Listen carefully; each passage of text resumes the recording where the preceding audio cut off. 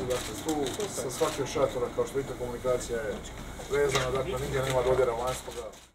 Ja još jednom se zahvaljujem pripadnicima Hrvatske vojske na ogromnom angažmanu i na pomoći kliničkom bolničkom centru ovdje u Dubravi i kao što ste mogli vidjeti mi smo u samo 72 sata napravili ovaj ekspedicijski kamp Hrvatske vojske ovdje u kliničkoj bolničkom centru Dubrava. Zahvalio bi se i svim zdravstvenim djelatnicima kliničkog bolničkog centra na pomoći. Ovo je zajednički rad, sinergija Hrvatske vojske i zdravstvenog sustava Hrvatske države i kao što ste vidjeli na zahtjev struke dodatno smo i napravili ove komunikacijske tunele tako da je bolnica Dubrava povezana sa ovim ekspedicijskim kampom.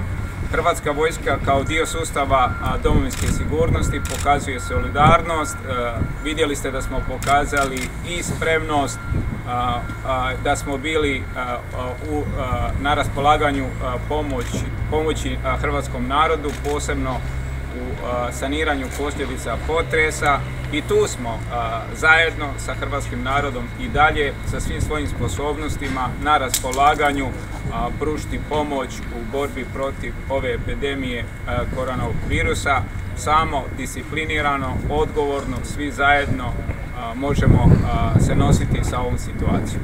Ekspedicijski e, kamp Hrvatske vojske ima potpuno novu funkcionalnost jer je brzom reakcijom instaliran plinovod koji vodi plinove do svih šatora i na taj način omogućava adekvatnu potporu našim budućim bolesnicima koji se nadamo da će biti što manji. Nadalje, novi sigurnosni tamponi u okviru KB Dubrava koji osiguravaju adekvatnu zaštitu od e, e, kolanja virusa i prema zdravstvenim djelatnicima i prema našim bolesnicima koji su izgrađeni u svega nekoliko dana hrvatskom pameću i hrvatskim umjećem svjedoče da zajedno možemo napraviti puno toga.